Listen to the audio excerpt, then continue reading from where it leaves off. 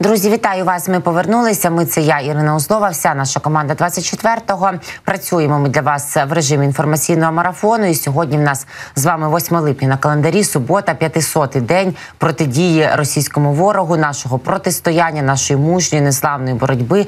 Не втомимося дякувати кожному, хто несе цю боротьбу, хто протистоїть російській навалі щодня на кожному із своїх фронтів. Що ж на інформаційному зараз і продовжимо працювати ще одну годинку. Я для вас це і робитиму.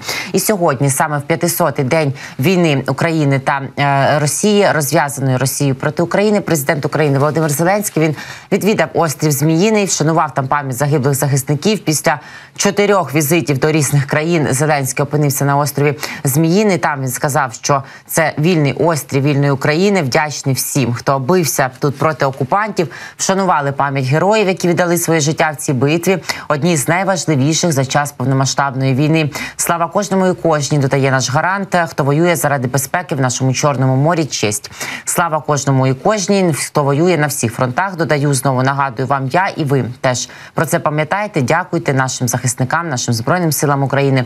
Е, дійсно, острів Зміїний це було не лише військове, а й політичне, символічне, знакове звільнення нашого острову, вільного острову, вільної завжди вільної від Росії України, і саме завдяки нашому протистоянню вільна від Росії і Європа. Ну і допоки, от е, наші високопосадовці, наш президент, голова офісу президента Андрій Єрмак, глава ГУР Міноборони. Кирило Будано відвідують острів Зміїний, відвідують різні західні країни, працюють задля перемоги. Рухаємося. Ми до північно-атлантичного альянсу. Росія рухається в провалля. Маріанський навіть глибше. Шойгу, е, оцей е, просто. Оленевод, міністр оборони Російської Федерації за сумісництвом, він відвідав південний військовий округ. Відвідав він його, аби перевірити організацію бойової підготовки військовослужбовців за контрактом новостворених з'єднань і військових частин. Тобто, я так розумію, що він вирішив перевірити рівень готовності нового гарматного м'яса до прожарки нашими збройними силами України. Ось ці кадри е, високо неінтелектуальних облич. Ви зараз маєте, вибачте, неприємність спостерігати на своїх екранах, але ми мусимо розуміти, ось якісь музейні танчики подіставали, чи що то воно є. Постріляли, ну хіба оце там вони можуть шойгу із виразом обличчя, що нібито він розуміє, що йому говорять. Послухав звіти. Підозрюю, що навряд чи там було сказано правдиву інформацію про обстановку і на фронті, і в цьому південному військовому окрузі. Як це він наважився цікаво туди приїхати? Мене от турбує весь ранок і дуже веселить ем, ця думка, адже саме е, південний військовий округ був е, е, фактично захоплений таким проривом Пригожина, і він там його шукав. Може, тепер Шойгу приїхав подивитися, чи там Пригожина часом немає, бо ніхто не знає, де він просто от Шойгу, але навряд чи навряд чи він би на це зважився. Ну приїхав перевірити, показати, що він нібито існує. Звісно, ми навіть не можемо констатувати, чи то свіжі є кадри, але але тим не менше, ось так. Ну оце скоро все, що тут стріляє, йому показує новонабране, воно коли прийде на українську землю, тут же буде і знищено, і це доводять родичі таких новомобілізованих свіжого м'яса Російської Федерації, бо лише м'ясні штурми це єдина можлива тактика ворога. Вони жаліються знову. Знову ці плечі Ярославни. Щось давно ми з вами їх не слухали. Таке собі російське мобілізоване караоке. Але вони навіть е, читають не по суфлеру і співають не пісень, а е, співають вони жалоби з папірців. Виходять оці дружини, родичі російські російських е, військових і жаліються, що нема нічого, ні артилерійської підтримки, шайгу, де боєприпаси продовжують вони, власне кажучи, легендарну лінію завивання Пригожина. От е, також кажуть не лише де боєприпаси, а питають, де взагалі ротація, де їжа, де вода. Питань багато, відповіді вони не чують. На що жаліються, чому скихлять. Давайте послухаємо. Мужчины 23 дня находятся, находились Э, на позициях без артиллерийской поддержки, без боеприпасов, без техники. Из командного состава один ротный, больше никого. И тот из мобилизованных э, точно такой же, как наши парни. Э, когда стало невозможно находиться на позициях, то есть закончилась еда, закончились патроны, парни начали отходить. Э, им начали угрожать уголовная ответственность ответственность за дезертирство, заставляли возвращаться на передовую без должного оснащения. Э, При этом вода, продукты, даже элементарные лопаты, у них нет ничего. Ребята воюют, ну, просто с автоматами, как с палками, скажем так. Ну, це було, власне кажучи, прогнозовано, що вони з палицями, кийками і чимось там будуть. е, І як ми колись з Тельманом е, Михайлом, політехнологом, жартували, будуть іти каміння кидати, ще в один одного втрапляти. А от е, то, що рано чи пізно вони з цим і будуть воювати, тому що вони ж не взяли за три дні Київ і за 500 не взяли нічого. Сако і Ванце ті теж здають. Три хати і млин. Тільки таке вони щось можуть брати, і то ненадовго. І от е, ну це очікувана реальність, е, в яку вони потрапили. Ще в них немає ні їжі, ні артилерійських снарядів, ні води, і немає в них совісті, тому що не йшли би вони на нашу землю, то і не треба було б жалітися. Але дехто може і не дуже би і хотів, хоча це сумнівно, бо там вже стадо на Російській Федерації, але їх змушують. Ем, Самі е, ув'язнені, до речі, зеки, яких раніше вербував Пригожин, якому було відкрито доступ до всіх російських в'язниць, жаліються тепер, що, наприклад, в Кемерівській області ув'язнених катують електрошоком за відмову їхати на війну. Тепер я нагадаю, що ця. Естафетна паличка вербування зеків, вона е, в руках Міністерства оборони Російської Федерації, як і е, інші е, кувалди. Тепер тепер вони собі підпорядковують всі приватні військові кампанії, а також мають доступ до в'язниці. І Отам Гулагу.нет, правозахисному проєкту, який очолює Володимир Сєчкін, звітують, жаліються, засуджені, що до однієї з колоній на початку липня приїхала група співробітників головного управління Федеральної служби виконання покарань. І от вони вимагали від засуджених без їхньої згоди їхати на війну. Тих, хто відмовився підписати контракт, б'ють електрошоком, б'ють в різні місця, змушують гавкати, б'ють, ображають, погрожують різними видами насилля. Ось таке відбувається. Це ж фашизм, кажуть самі ув'язнені росіяни. Це ж треба, як це вони зрозуміли, що то в них, а не тут. Треба шукати ось е, такі елементи. Тому бачимо, що там відбувається, і тим часом а, а, деякі країни, все таки деякі уряди, я би сказала, деяких країн, ніби вдають, що не бачать насправді обличчя Російської Федерації, обличчя Путіна. А зараз я про е, певні елементи грузинського уряду, грузинської влади. Зокрема, а, там нагадаю, було відновлено авіасполучення між Російською Федерацією, між е, Грузією, і е, окрім того, там відбуваються просто такі нелюдські знущання, доведення до нелюдського стану, які навіть е, неможливо показувати людям. Але тим не менше, зараз я звісно про справу Міхайла Саакашвілі, екс-президента Грузії. Усі ми бачили, як е, облетіло інформаційний простір. Кадри з залу е, судових засідань, де ми побачили, як виглядає більш ніж схудлий, просто понівечений Михайло Саакашвілі. Причина такого стану це 47 різних діагнозів, з яких три фактично невиліковні. Про це принаймні говорить його адвокат. Давайте детальніше почуємо, в якому стані зараз Саакашвілі, що йому загрожує, і що могло це на думку захисника Саакашвілі спричинити.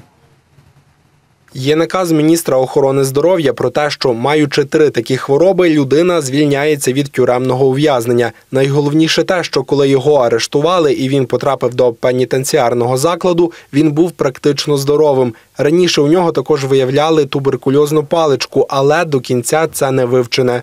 Минулого року, 12 травня, Михайло утретє втратив свідомість. Аналізи Саакашвілі направили до клініки у Німеччині. Звідти прийшла відповідь, що у крові виявлені важкі метали, але на це ніхто не звернув уваги. Після цього я проконсультувався із незалежними фахівцями щодо важких металів. Якби він був на волі, це було би можливо, але не у тюрмі. Потім захисники добилися, щоб аналіз направили до США. Звідти прийшла відповідь, що це отруєння. Попередили, що внаслідок інтоксикації його хвороби загострюватимуться, тобто стан погіршуватиметься. Це ми зараз і спостерігаємо. Сам Саакашвілі, та й не лише він, низка політологів, експертів, правозахисників впевнені, що його намагаються вбити за наказом президента Росії Володимира Путіна, російського диктатора, як каже Хатія Деканаїдзе, він насолоду, очевидно, отримує спостерігаючи такі кадри. Ну це маньяк ще знатний. 46 депутатів від опозиції звернулися до голови парламенту Папуашвілі з вимогою дозволити зустрічі з Михайлом Саакашвілі, а також відправити його на лікування за кордон. Е, Зокрема, ми знаємо також, що і вже дуже рішучою є реакція президента України Володимира Зеленського. Ми вислали посла Грузії в Україну Україні, а туди в самому грузинському суспільстві, як каже зокрема частий гість наших ефірів Гела Васадзе, політичний аналітик, є три е, рівні такого ставлення до побачених до нових кадрів із Михайлом Саакашвілі. За його спостереженнями є три групи людей. Перша це його активні прихильники, для яких Саакашвілі ідеал політика, який створив, змінив сучасну Грузію. Вони обурені, вони вимагають активних дій для звільнення експрезидента. Але на думку Васадзе, таких меншість. Друга група людей це е, нечисленні, але е, такі е, затяті противники Саакашвілі, які в період його президентства могли постраждати якось від дій держави. Вони каже Васадзе, сприйняли виснажений стан експрезидента теж. Як і Путін, певно, з неприхованою зловтіхою, і найбільше на думку Васадзе тих, хто не є ані гарячими прихильниками, ані опонентами Саакашвілі. Ті вважають, що якщо експрезидента відправлять на лікування, то він не завдасть більшої шкоди репутації влади, ніж коли перебуває в такому виснаженому стані. Ось зараз ми бачимо, в якому стані виглядає Саакашвілі, в якому стані просто його тіло, це кістки обтягнуті е, шкірою. Неприпустимо, е, звісно, такі е, знущання не випускають, як ви чули, з цього- цієї лікарні. Неможливо за окрім того, я нагадаю, що Міністерство закордонних справ Грузії не має наміру проводити консультації з послом.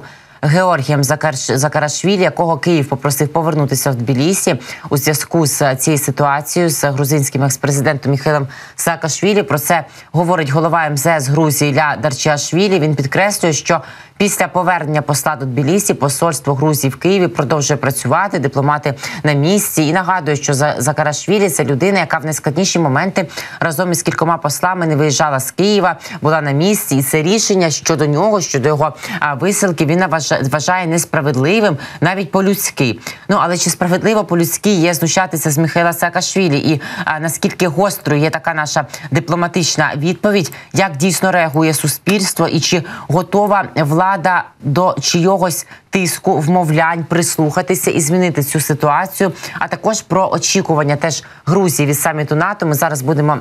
Говорити з Тенгізом Аблоті, журналистом з «Эхо Кавказу. Тенгиз, здравствуйте, приветствую вас в нашем эфире. Спасибо, что нашли время, рады видеть. Добрый день.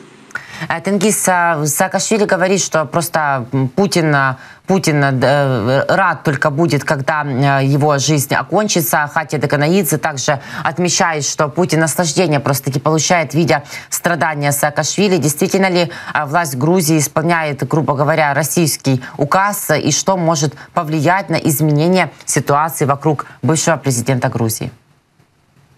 Э, Знаете, э, то, что э, Миша сказал насчет того, что Путин испытывает большое удовольствие при виде его страданий, я думаю, что это правда, потому что Путин человек мстительный. Но то удовольствие от страдания Саакашвили, которое испытывает Путин, оно несравнимо. Это, это 1% того удовольствия от, от страданий Миши, которое получает э, наши власти. То есть в данном случае я сказал бы, что это основной фактор. То есть э, э, выводить эту ситуацию так, что вот грузинские власти выполняют указания Путина и так далее, и так далее, что это э, искать в этом какую-то политическую подоплеку. Я считаю, это не очень правильно. Тут имеет место, это, это их личное, это их персональная месть Миши. И, то есть, они, они действительно получают удовольствие от того, что они видят, э, в каком он плохом состоянии. И причиной того, что он до сих пор в тюрьме является не столько позиция Путина, которому, я думаю, что на данный момент уже до него дела нет, а, а личное удовольствие этих э, довольно-таки мелких и э, скажем так, злобных э, людей, которые находятся у власти, и персонально э, Бедзина Иванишвили, миллиардер, руководящего фактически Грузией, который ну, известен своей параноидальностью, какой-то мелкой злобностью и так далее. Это сейчас главный фактор. А политика, там какие-то высокие интересы, Путин, это, это все на втором-третьем месте. Главное это то, что они его заполучили. Э, Это, это вот все равно, что вот, э, вот я даже не знаю, с чем сравнить. Вот если бы украинцам попадется в руки Путин, вот представляете себе, и Путин будет ходить, от- ну вот, вот примерно вот это э, многим кажется это непонятным, они не понимают, что как, как можно. Ну вот я сейчас сравнил Путина, который там бомбит Украину, да, полтора года уничтожает страну, и его ненавидят украинцы так же, как, вот, скажем, ну, определенная часть грузин, которые поддерживают нынешнюю власть, но они точно так же э, ненавидят э, Саакашвили, и вы можете объяснять им, что это несравнимые вещи. Но это так, это факт. Это данность, которую знает любой человек, который э, в Грузии бывал хотя бы э, месяц и э, имел дело и хотя бы общался с, с этими людьми. Что касается возможности его освобождения, то тут может быть только две. Первый – это риск очень тяжелых санкций, вот, ну, таких, что вот они вот, э, утром на завтрак встать не смогут, такого уровня санкций.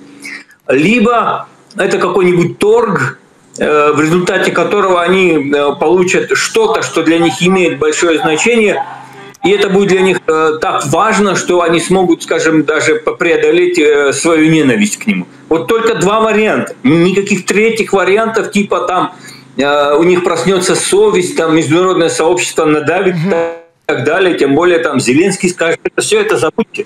Только два вот этих варианта. А, ну, есть мнение, что, возможно, Соединенные Штаты, Джо Байден может как-то надавить. Но, учитывая, что я слышу от риторики, а, в частности, Ираклия Капахидзе, это глава руководящей партии «Грузинская мечта», от министра иностранных дел, которого я цитировала, они говорят, никаких консультаций не будет и не может быть. Поэтому... Может быть, единственное, если Запад придет к какому-то общему мнению и наложит санкции, угу. то есть эти попытки ну давайте там, э, может, ну проявите гуманизм. Не будет никакого гуманизма. Они его ненавидят. Вы, если вам руки попадется Путин, вы, и вам кто-то скажет, ребята, ну проявите гуманизм. Ну, ну, Владимир Владимировичу плохо, там, он отощал, он плохо есть. Ну, вы что ему скажете? Это для вас будет какой-то аргумент? Для них освобождение Саакашвили это, это я, я не знаю что, это Саакашвили для них это номер один. Это, это основа всей их политики.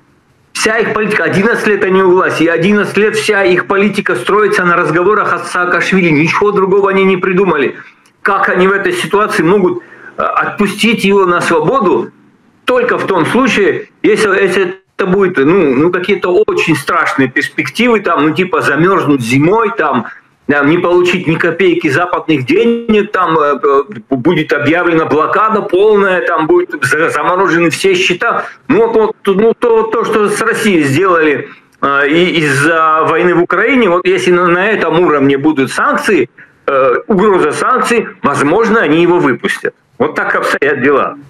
Тенгиз, скажите, пожалуйста, как общество реагирует на увиденные новые кадры с Михаилом Саакашвили? Действительно ли мы можем говорить о том, что есть э, те, кто поддерживает, те, кто так ровно относится нейтрально, и есть те, кто тоже получает вот такое же наслаждение, как руководящая партия? Вот я вам скажу, примерно 30% населения Грузии относится к Мише в разной степени хорошо. Что значит в разной степени? Вот, допустим, есть фанаты его, которые считают, что вот он должен прийти к власти и сидеть до конца. Вот это одна часть, но их немного. Есть вторая, вот вроде меня, я к нему хорошо отношусь, но считаю, что это уже прошлое, и по второму кругу идти, это уже будет путинизм, и в таком случае, чем мы лучше России. Так? Это примерно 30%, которые к нему относятся нормально. 30% к нему относятся в разной степени плохо. Это же опять же в разной степени. То есть там такие же есть вот фанаты, которые его ненавидят.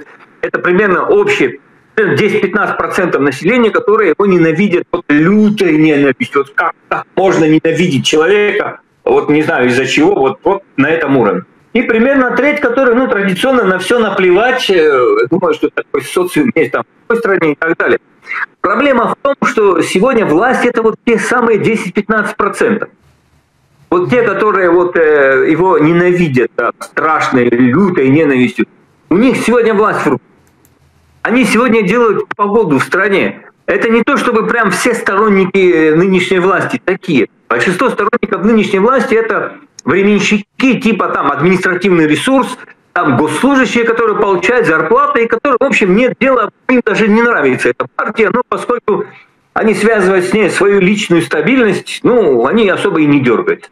А вот именно вот таких вот фана фанатичных, у которых вот глаза горят, когда они, они, когда они слушают, если у них будет, была бы их воля, они бы из алфавита букву М убрали бы вообще. Вот до такой степени они его ненавидят. Вот. Их где-то 10-15%, но они сегодня мейнстрим. Они делают погоду. Это, это, это самое тяжелое, это самое опасное. Поэтому Миша так глубоко застрял в этой яме. Крайняя форма его исхудалости и вида вызвала крайнюю форму дипломатического обострения, как уже говорят э, со стороны официального Киева, со стороны нашей реакции, высылка посла. Насколько этот кейс может повлиять сейчас на уровень взаимоотношений между Украиной и Грузией, может ли вообще? Первое, я вам скажу по, по, по, по, по поводу причин его исхудания. Вот а, опять же, это, это человеческое. Не надо искать в этом политический фактор. Вот вы представьте себе, вот он сидит в тюрьме, и вся, вся его жизнь, весь смысл его жизни был бороться с Путиным, бороться с империей там, и, и так далее. Он вот, все свое время нахождения у власти в Грузии э, занимался этим делом. А сейчас он видит, что в Украине идет окончательная война с путинизмом. То есть он должен быть там. И кто воюет?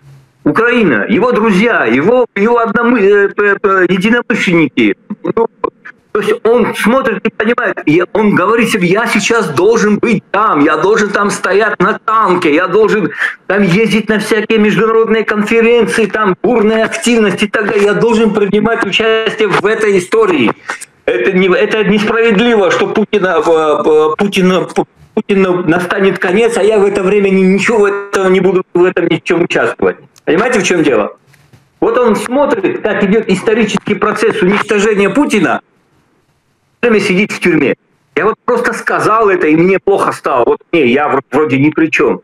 А тут ему, вот у него шанс войти в историю навсегда. Его друзья сейчас возглавляют э, смертельный бой против Путина. А он сидит в тюрьме. Это что с этим можно? Это не похудеть можно, это застрелиться можно. Я вас уверяю, тем более человеку с такой энергией и э, с таким эго, как, э, каким является Саакашвили. И поэтому Э, его исхудание, его э, тяжелое состояние, это прежде всего не то, что его там отравить хотели или что-то, это, это, это ерунда, никто его отравить не хотел. Это вот понимание того, что поезд уходит, а он в это время сидит в тюрьме. Вот в этом все дело. А взаимоотношения Украины и Грузии? Тут куда да, движется да, поезд? Да, да. да. да, вот такая ситуация есть. Вот э, есть очень большая категория, вот я к ней принадлежу, для которых украинская власть более легитимная, чем внутри. То есть, если мне, мне вот ставят выбор, вот кто для меня более свой, там, Зеленский, для меня Зеленский ближе. Если завтра там возникнет конфликт теоретически между нынешней властью и э, властью Украины, я займу в сторону Украины. Таких очень много. Примерно половина страны считают, что украинская власть сейчас нам ближе, чем своя родная грузинская. Но, но э, э, вот, вот, вот эти радикальные действия, они излишние, потому что, э, вот вы понимаете, э, вот если оставить только тему Саакашвили, если оставить, если посмотреть, э, у нас же э, есть не, не какие-то проблемы с Украиной и в других вопросах, но э, Грузия э, вот вроде как выглядит, постоянно получает обвинения э, со стороны Украины там, в сотрудничестве с Россией и так далее, и так далее, но при этом Грузия соблюдает все международные санкции. Никто об этом не говорит по нашей территории, если что-то идет, э, там какой-то несанкционированный груз, то он идет только в качестве транзита. Мы транзитная страна, а по законам транзита транзитное государство не имеет права досматривать э, транзитный груз, если не имеет конкретной информации. Вот немножко, вот, вот когда Зеленский ввел э, санкции против авиакомпании, которая начала э, летать в Москву, большинство вот таких так, западно ориентированных грузин были согласны и говорили, что да, правильно, летать, молодец, Зеленский так и надо делать. А вот когда вот сейчас вот, вот эта ситуация началась, все-таки многие считают, что это не очень справедливо, потому что, ну, э, если оставить в стороне вопрос Саакашвили, э, э, Грузия не имеет таких грехов перед Украиной, какие имеет, ну, скажем, Казахстан, который не, не просто там транзит, они, им, они России поставляют э, чипы ну, через да, Казахстан. Да. Через, не только лишь. Так что э, все понимаю, но э, я думаю, что вот это вот последнее э, действие украинского правительства против Грузии, ну, я бы так сказал. Тенгиз, спасибо вам огромное. Немного связь на сегодня подводит, но, в принципе, услышали. Хотелось бы еще с вами поговорить о НАТО, но уже, думаю, после саммита э, НАТО мы обсудим и дальше эту тему. И смотрит ли Грузия по-прежнему этому сторону? Народ точно знает, что да, власть, наверное, поглядывает немного и, и косит в другую сторону. Спасибо вам огромное за сегодняшний разговор. Спасибо, что находите время. Тенгиз Аблотия, журналист «Эхо Кавказа», был гостем нашего эфира. Мы говорили о ситуации с экс-президентом президентом Грузії Михайлом Саакашвілі про стан його здоров'я. Адвокат каже 47 хвороб. Тенгіз каже, що змарнів Саакашвілі направду і через те, що він весь сенс його життя був присвячений тому, аби боротися з Путіним, протидіяти Путіну. А зараз він по суті на лаві запасних, на медичній лаві запасних тримають його в лікарні, але все одно, щоб не було причиною достеменно його схуднення і змарнілого стану, Тенгіз зауважує, що влада Грузії це це її мрія, аби груз мрія грузинської мрії, аби не було Саакашвілі, що вони більше 10 років просто таки вибудовують цю свою політику навколо його знищення. Радіє цьому Путін, але вже не так, бо ну Путіна провали на фронті, Путіна Пригожин, то. Він може і радіє, але це в нього не на першому плані зауважує Тенгіса. Але е, все ж таки, е, ось е, такі не дуже хороші події відбуваються в Грузії. Чого б не марнів Саакашвілі, потрібен би був для нього доступ. Українська влада вислала посла Грузії в Україні назад до Грузії, але в їхньому МЗС кажуть, ніяких консультацій не буде. Очільник керівної партії Грузинська мрія теж каже, жодних консультацій та навряд чи міжнародний тиск тут може на щось діяти, якщо лише не будуть запроваджені жорсткі санкції, такі які Грузія відчує одразу. Що ж, але ми будемо пильнувати, тому що права людини, стан людини повинні захищатися, тим паче в країнах, таких як Грузія, яка ніби інколи її влада, не мешканці, влада забуває, що вона стала а, після якраз того саміту Бухарестського НАТО жертвою теж вторгнення Російської Федерації. Досі частина. Території окуповані Російською Федерацією, тож е, дивно, що влада продовжує дивитися в бік Кремля, але публічно між тим декларує євроатлантичні цінності. Ось такі розходження.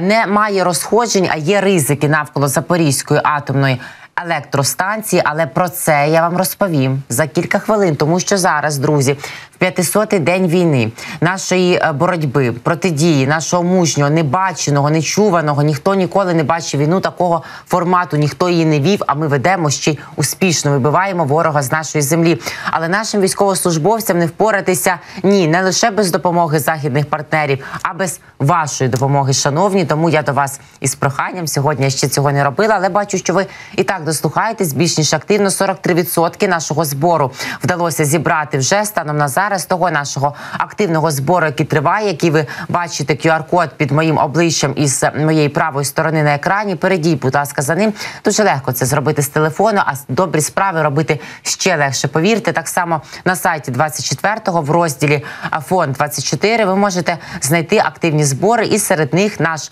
збір для наших прикордонників. Тому що їм дуже дуже потрібен дрон з тепловізором, і а, ні, не для того, щоб грітися, як кажуть російські е, не дуже розумні, м'яко кажучи, типу волонтери. А для того, аби е, бачити ворога вночі, дуже потрібен е, Mavic 3T термал. Тому ми триває в нас цей збір. Ми збираємо саме на цей дрон з тепловізором. Вже цьому підрозділу ми з вами, завдяки вам, лише вам неодноразово допомагали і передали вже їм 8 мавіків, 10 10 тепловізорів, 4 автівки і багато іншого. І вдалося закрити нам запити від наших оборонців. Тож сподіваємося, що цього разу ви не підведете. Ми не підведемо разом. Разом 500 днів, пів тисячі днів. Коли хіба хто міг уявити, що ми стільки будемо не те, що триматися, а відбивати атаку ворога не лише на нашу землю, а й на весь цивілізований демократичний світ. Друзі, це ми з вами робимо кожного ранку. Згадуйте про це і згадуйте про наших військовослужбовців. Дякуйте їм і так дякуйте теж тому що це той самий випадок, коли матеріальна подяка вона теж дуже важлива, тому що все це йде на такі необхідні для наших захисників засоби. 225 тисяч гривень. Наша мета. І більші цілі ми долали. Тому я більш ніж у вас впевнена. 43% вже зібрано. Наступної години перевіримо наскільки ви активні. Бо є, є від чого захищатися. Треба виганяти окупанта з нашої землі пошвидше. Друзі, в нас он, як каже Буданов, менше ніж 10 місяців. Та й навколо Запорізької атомної електростанції треба їх вщен звідти вичистити, тому що тому, що росіяни продовжують мінувати Запорізьку атомну електростанцію. Якщо хтось раптом подумав, що після 5 липня до тієї дати, коли буцімто їхні працівники завезені Росатому, мали звідти виїхати, небезпека минула, як каже очільник гурмо Кирила Буданов, допоки Запорізька атомна електростанція окупована російськими військами, то небезпека нікуди не дівається. Друзі, я вам про це нагадую, і наша розвідка знову нагадує, що окупанти продовжують мінування Запорізької атомної електростанції та об'єктів на її території. За інформацією розвідки, нині на станцію звозять міни та інші вибухові. Пристрої днями раніше, як я вже казала, голова української розвідки заявив, що загроза катастрофи саме масштабної на ЗАЕС тихенько спадає, але виключати нових провокацій зі сторони підступного хитрого підлого ворога не можна. Е, Тож е, зараз е, ми бачимо, що міни, вибухові речовини, усе це точніше бачить наша розвідка, завозять на Запорізьку атомну електростанцію. Крім того, в технічних приміщеннях та у машинних залах встановлені мінно-вибухові загородження, які складаються з керованих дистанційно та некерованих протипіхотних мін спрямованого типу. Е, Це такі собі мони, протипіхотні міни радянського зразка. Їх можуть встановлювати як у керованому вигляді, так і некерованому. І маса вибухівки в мінах відрізняється в залежності від комплектації. Деякі мають 700 грамів гексогену, а найбільша 12 кілограмів тротилу. Ви взагалі розумієте, навіть оця, яка має 700 грамів гексогену, вона заборонена Отавською конвенцією. Але але ворог не здається. Разом з тим, експерти МАГАТЕ кажуть, в нас є прогрес. Але щоправда говорять про огляд якихось об'єктів, а до отої даху, який ми вам показували, який теж заміновували якісь чоловічки в білому, і доставка охолодження, вони не мають як такого. Доступу до дахів енергоблоків їх не пускають, і це Гросі називає прогресом. Будь уявити, що в нього регрес, то напевно взагалі б не звертали увагу на Запорізьку атомну електростанцію. Окрім того, за даними нашої розвідки, окупанти планують забирати житло жителів Енергодара, щоб заохотити росіян працювати на ЗАЕС і завести їх ще більше. Давайте ми почуємо, як вони будуть залучати російських співробітників. Офіційна мета приїзду Кірієнка ознайомлення зі станом справ на станції та перевірка загальної безпеки. Неофіційно посланець Путіна мав продемонструвати відсутність панічних настроїв, а також спробувати вирішити проблемні питання, пов'язані з комплектуванням станції персоналом. Згідно отриманої інформації, на станції проведено нараду за участі Кірієнка та гауляйтера Запорізької області Євгена Балицького щодо додаткового стимулювання потенційних працівників з Росії. Для цього планується надавати росіянам житло, вилучене в українців, які покинули територію Енергодару. Планується, що таким чином буде розселено до 4,5 тисяч росіян. Втім, наразі бажаючих їхати на ЗАЕС небагато.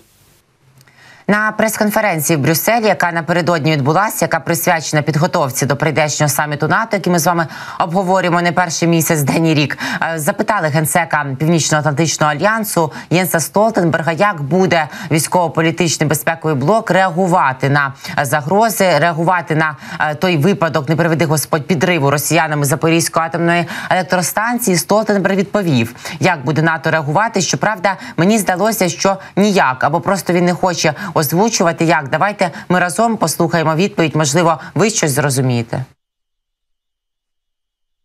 Насамперед потрібно враховувати, що війни за своєю природою небезпечні і непередбачувані. Ми дуже уважно моніторимо ситуацію навколо Запорізької АЕС. Це велика проблема в зоні бойових дій. Росія несе особливу відповідальність. Найкраще послання НАТО і МАГАТЕ полягає в тому, що Росія не повинна атакувати українців з території електростанції. Вони не повинні атакувати саму електростанцію і мають відвести свої війська.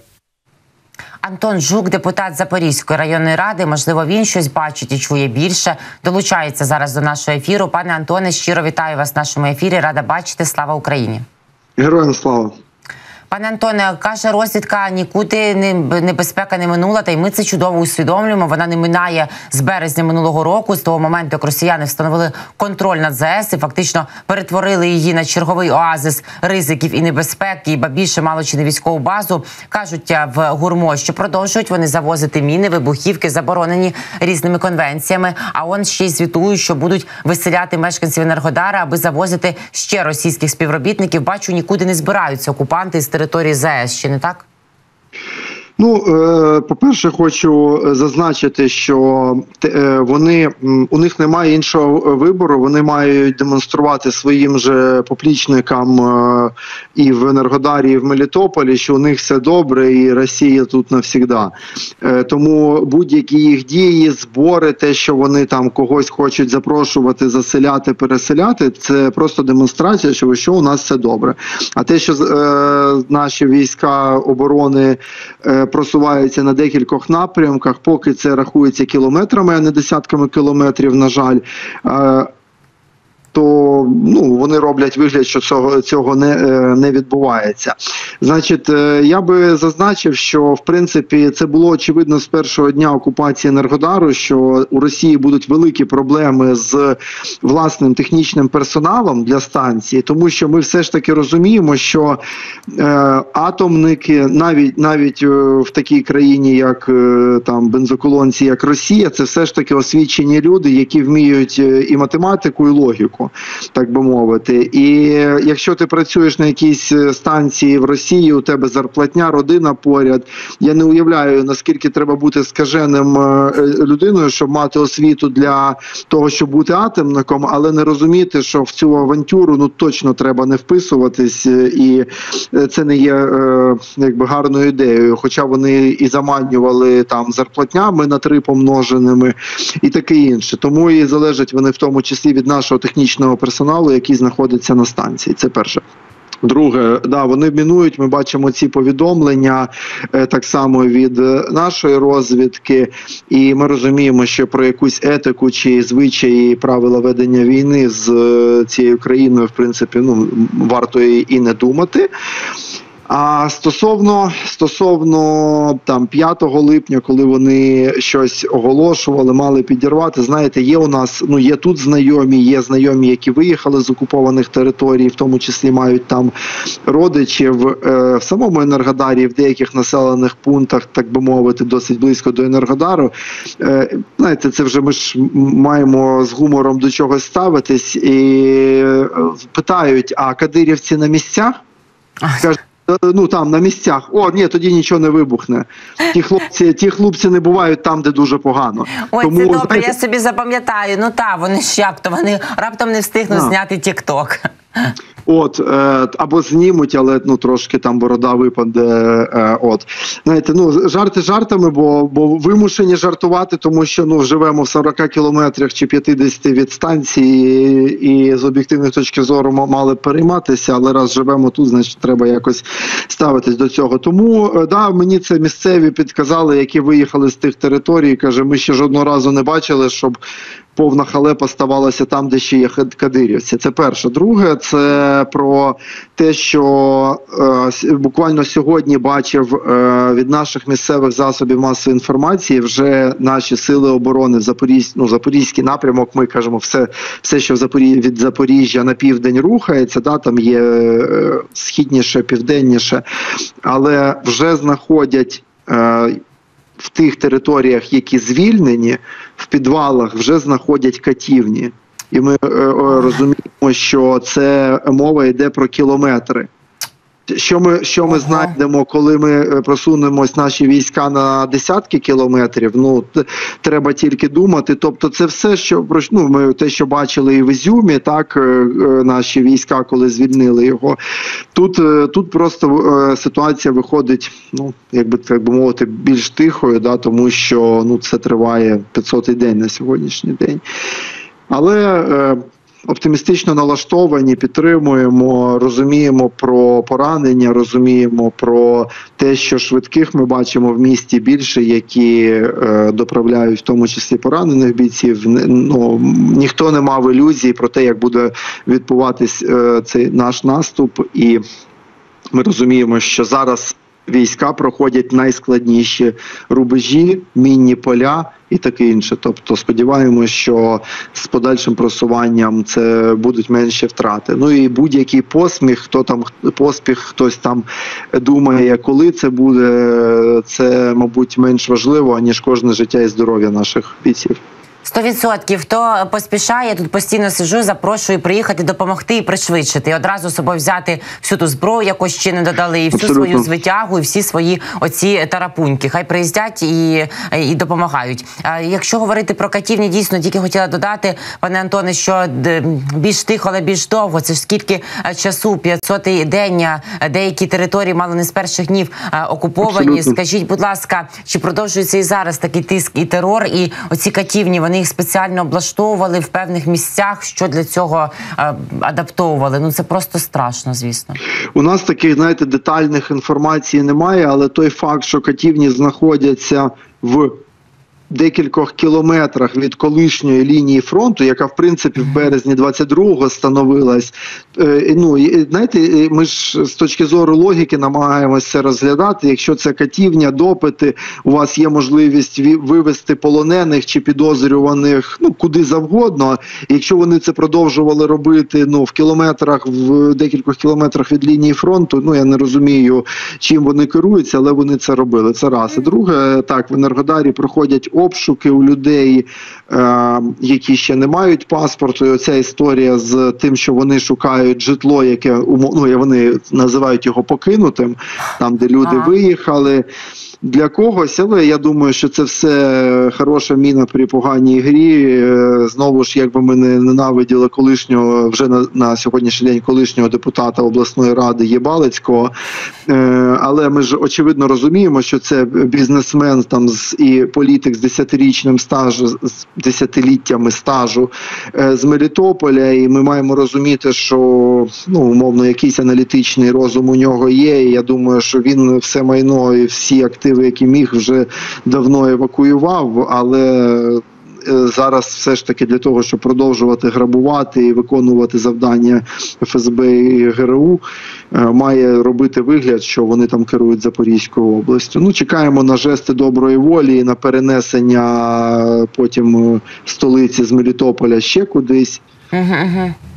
Хай за перебіг себе переносять і столиці свої а, малюють. Абсолютно. 500 діб повномасштабного вторгнення. Дійсно, сьогодні це е, така е, півтисячі днів, жахлива цифра. І Запоріжжя кожен день фактично в нас так не буває, щоб ми не бачили на превеликий жаль про те, що обстріли мирного населення, обстріли населених пунктів вони тривають. Сьогодні теж Юрій Малашко, очільник Запорізької обласної військової адміністрації, звітує про те, що було завдано більше ніж 6 десятків обстрілів під прицільним вогнем ворога, 15 населених пунктів. Е, Які саме напрямки залишаються гарячими і населені міста? Я так розумію, що не НАТО змінюються ці обрані об'єкти. З чого гатить ворог? Яка зараз безпекова ситуація, пане Антоне? Прошу.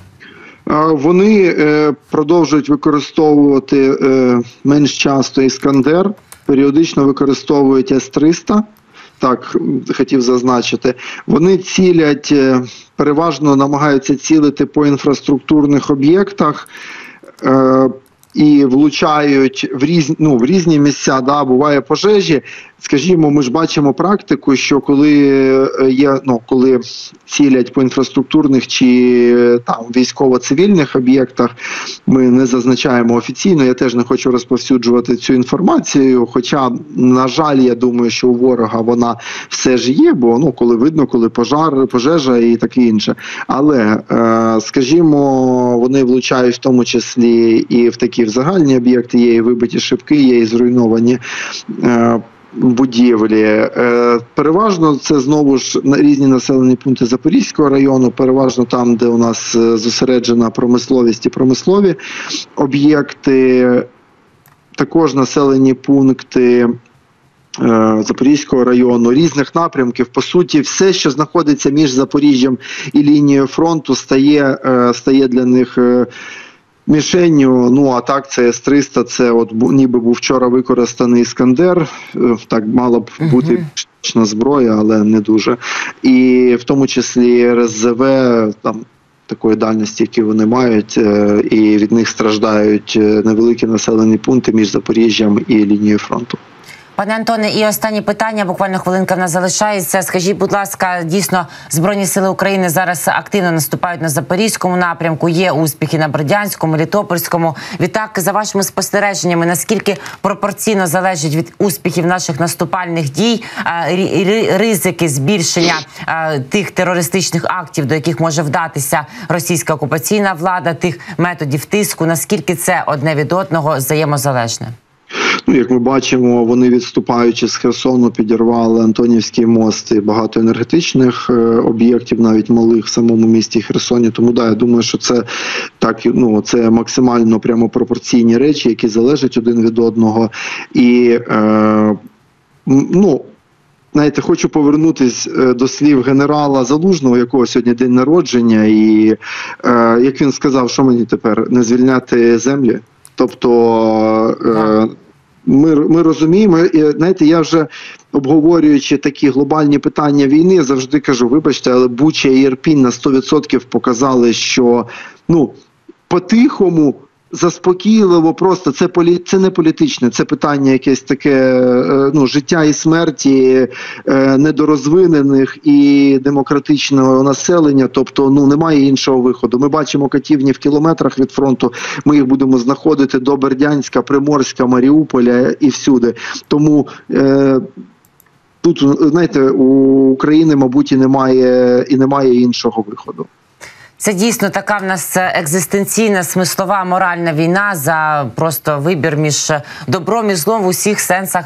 Цього слова, дякую вам дуже, пане Антоне. Дякую, що ви завжди на стороні добра і разом з нами пояснюєте, показуєте. Хай і наші глядачі, і світ чують, що відбувається, що роблять окупанти. Нас дивляться люди в різних країнах. Тож а від їхньої, зокрема, насамперед підтримки, теж залежить і наша допомога. Спасибі вам величезне. Бережіть себе, дякую. будь ласка, завжди раді вас бачити. Антон Жук, депутат Запорізької районної ради, був гостем нашого ефіру на е, тих е, окупованих територіях, тимчасово, які звільняють зараз наші сили оборони, сили наступу на запорізькому напрямку, знаходять катівні. Такі катівні, які ми з вами бачили на території Херсонщини, Харківщини, тактика ворога, методи терору вони незмінні в усіх їхніх проявах, в усіх частинах, де ступала на нашій землі їхня нога. Тож ми сподіваємося, що зміниться реакція і відповідальність зі сторони світової спільноти ворогам за ось такі вчинки. А вони тим часом а, заскрепненьке виступають і вдають, що буцімто такі святі та божі і сімейні цінності вони бережуть. Оцей В'ячеслав Володін, спікер Держ. Думи, прости господи, Російської Федерації, гляньте, картиночку запостив, наваяв, ніби сам робив у фотошопі. Він вітає оцей представник країни-агресора, яка руйнує наші сім'ї, яка вбиває просто е, наших наше мирне населення, розлучає дітей, вивозячи незаконно на територію Російської Федерації, депортуючи українських дітей. Він вітає з днем сім'ї, любві і вірності. Щоб йому це так виглядало, як вони роблять нам день сім'ї любві і вірності. Хоча підозрюю, сам він навряд чи комусь вірний, ще й явно не скрепненько. Про нього теж різна інформація лунає про його вподобання. Е, От так, от пише е, цей Володін, значить, що традиційні сімейні цінності важливі для кожного з них. І згадав тут, звісно, оцей е, просто прогнилий, жахливий розпутний захід. Згадав він президента Чехії Петра Павла, того якої голівудського актора, котрий нагадує. Він згадав його і каже, що той заявив: якщо не дай Бог переможе Росія, то всі західні цінності будуть знищені. Ну то дійсно, ми ж і кажемо, ми стоїмо за вибір за цінності вільного демократичного світу. Але на думку Володіна, він інакше інтерпретує ці цінності. Він говорить, що е, Петр Павел озвучив те, що задумують Вашингтон і Брюссель. Огляньте, а щось не Лондон, бо зазвичай Вашингтон і Лондон.